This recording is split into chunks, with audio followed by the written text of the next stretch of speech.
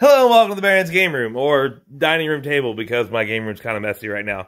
Uh, anyways, it's March, you know, uh, St. Patrick's Day, luck of the Irish and all that. So I thought maybe I'd do something about luck games this month, or at least this video.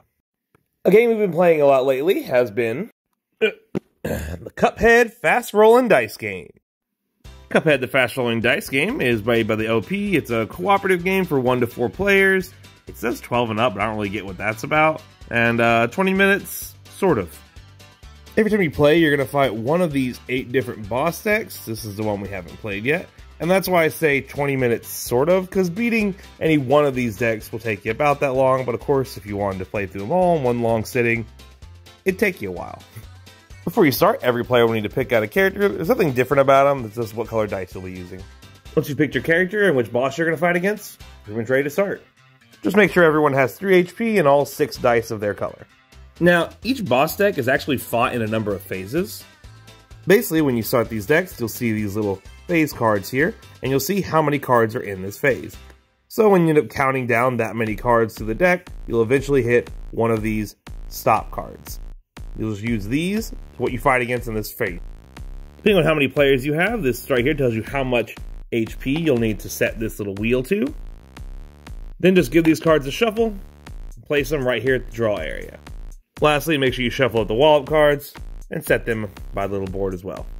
Each round, you're going to flip out three cards from this deck onto this board here. Now, why are there four of them? Because sometimes you'll whip out these wallop cards. Anytime you pull out a wallop card, you'll end up flipping out a fourth card as well. And now it's time to start the round. One thing you'll need to decide though is how long of a timer you want to have on each round. You can do hard mode at 10 seconds per round, medium at 15, or easy at 20, which personally, 20 is not enough in my opinion. So we usually play 20 and barely get by. Once you start your timer, you'll be rolling the dice to try and match the icons you see on these cards and setting them onto these little spots on your board here. Now they've got some pretty strict rules about placing dice and all that, and that's really where the difficulty of the game comes in besides luck of the roll. Each of these little spots of two correlate to the four spots on the board there, meaning you have to very specifically set the matching icon into the right spot for you to match it to that card. If I were to place this over here, it no longer matches to the second card because it's in the first card area. Now, wallop cards are completely optional, but if you choose to match the diamond to it, you'll end up getting to draw one of these wallop cards, which usually are beneficial things to help you out throughout the rest of the fight. But if you choose to skip them, you won't take any damage. However, with all these other ones, if you match the proper icon to it, you avoid the damage from that card.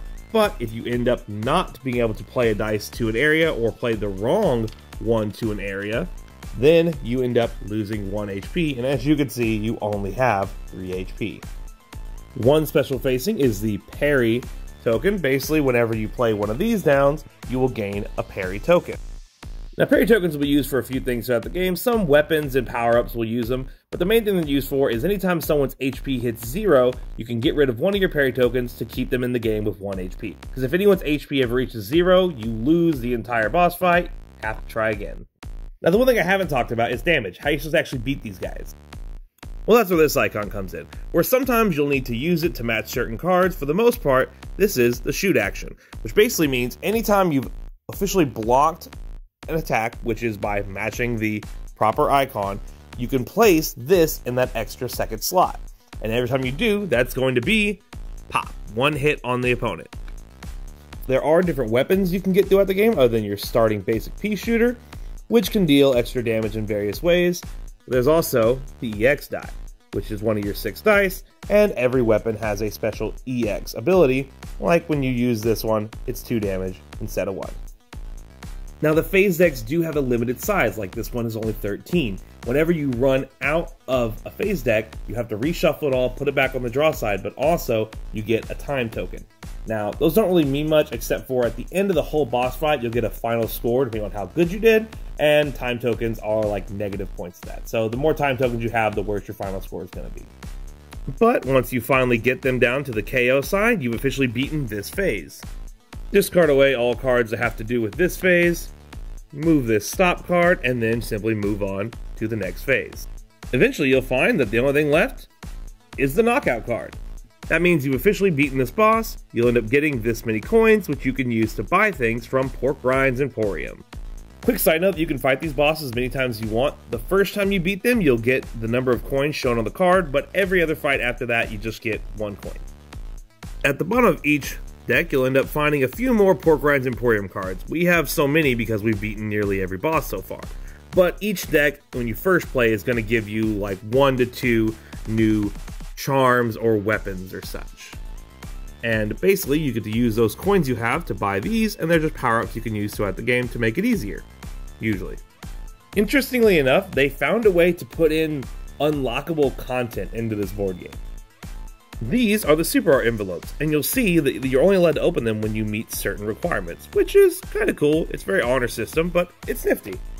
And that's really the basics of it all. As you play through the different decks, there'll be different things they add in sometimes, like certain bosses where we had to stack dice on top of each other, or the direction we pointed some of our dice was important.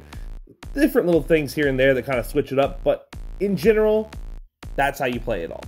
Keep in mind that when completing the cards, you can only match stuff to the leftmost card, but you are allowed to skip ahead, you're just also not allowed to go back. So if you choose to skip a card because you're just not rolling what you need for it, you can go ahead and go on to the next card and match dice to that card. However, if you later roll what you need for that previous card, you can't go back to it, you're just stuck taking the hit. But enough about the how to play, let's go to my thoughts and feelings about this game.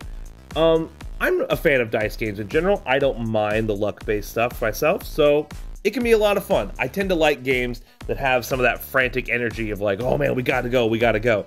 Five Minute Dungeon's a really good one for me that I have a lot of fun with. Uh, stuff like that really is pretty entertaining to me. I will say that a lot of times it feels a little unfair. They lean a little too heavily on luck sometimes. Um, you can try your best to do luck mitigation with the power ups and all that stuff, but you have to earn those as you go through the game. So you're gonna have to deal with the boss fights that feel really difficult and kind of unfair to unlock the weapons you need to make it easier and feel more fair, you know?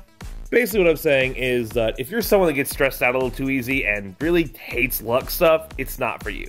Because even though the actual game of Cuphead is about, you know, learning the patterns and getting the skill to avoid it all, sometimes luck, this is almost entirely luck.